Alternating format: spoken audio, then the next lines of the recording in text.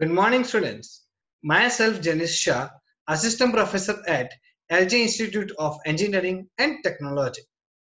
In a previous lecture, we studied about DQ, like what is double-ended queue, then the types of DQ, and the four algorithms applied on DQ. The first one is insertion at rear end and insertion and front end. Okay. Next two algorithms are deletion at rear end and deletion at front end. As we all know that in DQ, insertion and deletion occurs from the both end, front end as well as rear end. So already we have seen that how can we insert a data element in rear end because data element insertion in rear end it is same as simple queue insertion but insertion at front end it's a little bit different. So i am just showing you my last video slide. See as we have know that insertion at front end we need to decrement our front pointer. Okay here we need to i'm just decrementing my front pointer inserting 20 again decrementing front pointer inserting 10 now can i decrement front pointer? No. Got it because front pointer is already at first position. Okay so i i do not allow to decrement front pointer. Okay because my queue is already full. For which operation? For insertion sir. No wait not insertion. Insertion at front end for that operation my queue is full. Got it? For insertion and front end my queue is full. But if anyone anybody from you want to insert data at the rear end can can he edit or can he add the data yes definitely you can add the data at rear end okay but you cannot add data from front end so let's begin our today's topic deletion in DQ. So deletion at front end. Usually in simple queue, we know that deletion occurs at the front end. Okay, because front end is only for the deletion purpose. Okay, so that's why it is the same as simple queue deletion algorithm. Got it?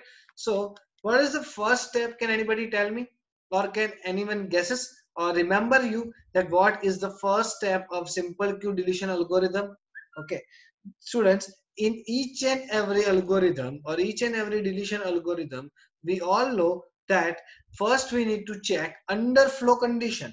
Okay, underflow condition, it means whether the data structure has element or not. Listen it carefully. I am just saying data structure, not queue, not stack, nothing. Because underflow condition is a generalized term. Okay. In general way i can say that if if my data structure has enough element to delete it means it is not underflow but here my queue is underflow it means there are no elements in the queue that's why i am not able to delete anything from the queue okay. So the, let's begin with the first thing that whether my queue is empty or not or queue is underflow or not. And though this is a simple queue deletion algorithm similar like simple queue deletion algorithm delete at front end. In this in this first we need to check whether my front pointer pointing to zero or not. Why it is zero? Because because according to algorithm our array index starts from one. So if if anyhow my front pointer position pointing to zero that means my queue is empty. This is the first step. First i'm just writing the function sir why are you writing function? If this question coming in your mind then just remember my previous lectures sessions that i told you if any algorithm return something at the time you need to write function okay? Then write algorithm name. Then write the parameters that you need to pass in the algorithm. That it is clear okay? So what i need i'm just here to delete something from the queue. That's why i need only three parameters. Q represents my queue. F is for the front pointer. R is for the rear pointer. And the name of the algorithm is delete at front end. Okay. Make sure the name of the algorithm should be meaningful. Okay. See, the first condition is underflow. What is the first condition for the underflow? Whether my front pointer is pointing to zero or not. So here it is. If my front pointer at zero, then write underflow and return zero. See, this is the figure of the queue. Okay. Now, moving forward to the next step, delete the element. How to delete an element?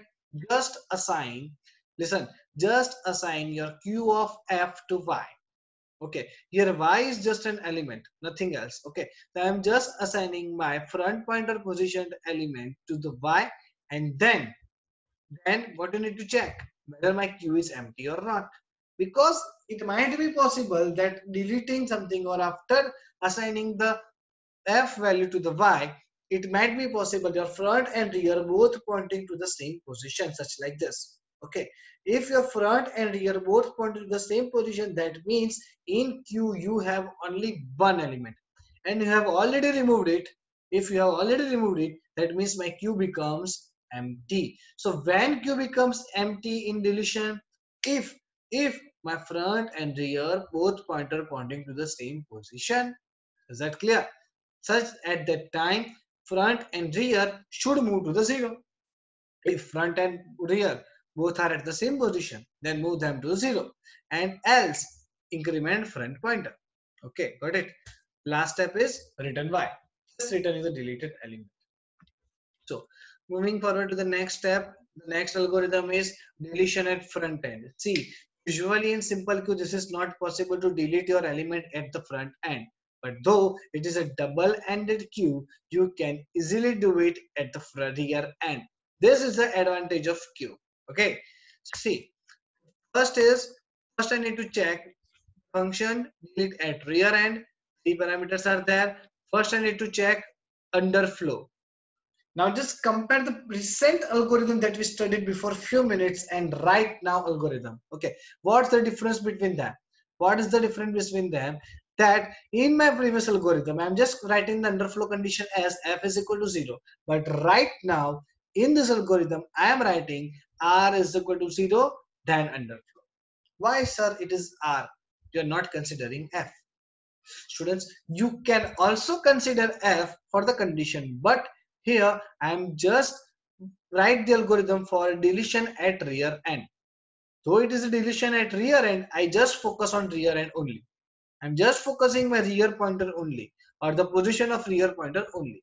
Okay if somehow you in exam you write f is equal to 0 so is that wrong no it's not wrong it's not wrong logically it's never wrong but ethically it's wrong because here we are just considering rear pointer fine so the condition should be if my rear pointer is equal to 0 then write underflow and return 0 step number 2 see in previous algorithm we are just assigning something to the y same like that if you are assigning assign your q of r to y. Then see, this is the position, this is my front pointer, this is my rear pointer. Okay, I'm just assigning 40 to y. Okay, then I need to decrement my rear pointer. See, in rear pointer, in deletion algorithm, you just need to decrement the position of rear pointer.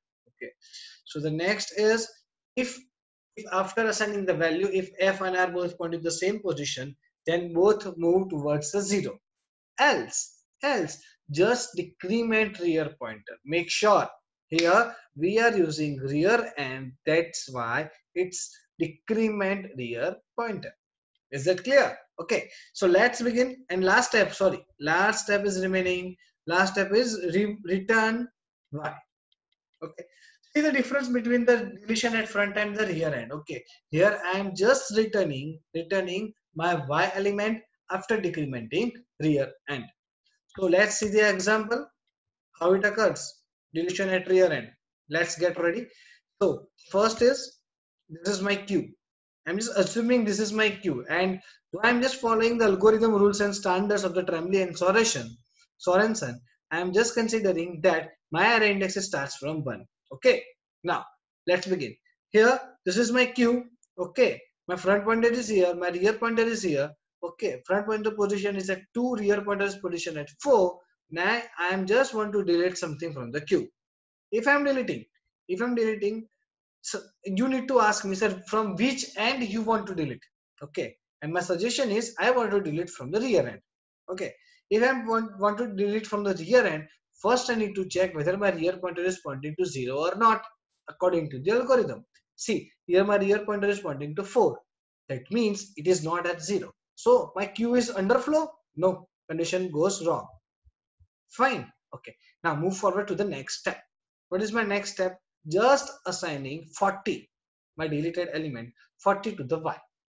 I am just assigning 40 to the Y. Suppose. Okay. Assume. I am assigning 40 to the Y. What is the next step? If the front and rear both are pointed to the same position. Okay. Is that so? Front and rear pointing to the same position? No.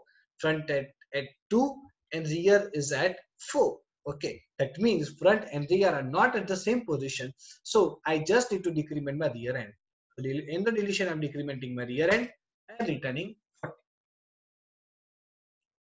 got it?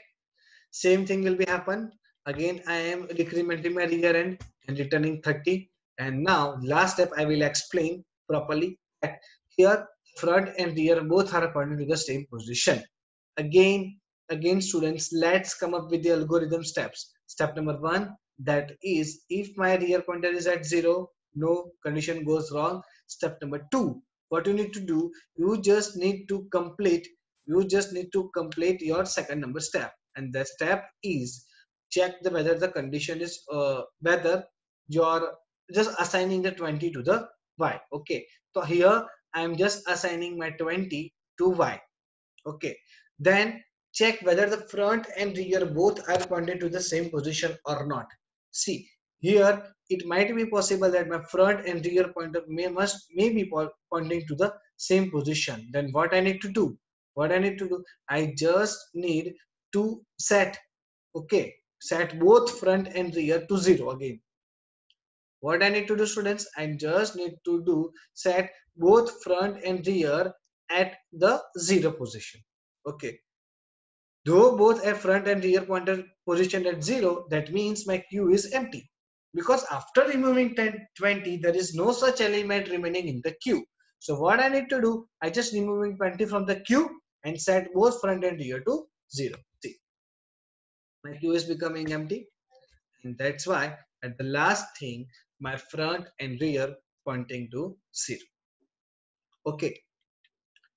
So in this lecture, we studied about that how can we delete how can we delete elements in DQ students I need to explain something that in double-ended queue as we have something like to insert something and to deleting something from the queue from the both side okay? So in exam you will not ask to perform each and every operation simultaneously okay? If i am if i am examiner i will not ask you to that insert at front end 10 okay you are insert 10 insert 20 insert 30 insert 40 no. Such type of questions can be asked for simple queue or circular queue because there is no specification of rear and front end. But but if you have asked for the deletion or insertion at front end at rear end that means that queue must be DQ because in simple queue and circular queue, there are no such type of specification of front and rear end. Okay, so in this lecture, we know how can we delete something from the double-ended queue and how can we insert something in double-ended queue. In our next lecture, we will see the example. Then we'll talk about the priority queue, how the priority queue works, and then we'll see applications of queue. Okay, till that please if you have any doubt then feel free to ask me okay? And till till my next lecture please keep smiling and keep learning. Thank you so much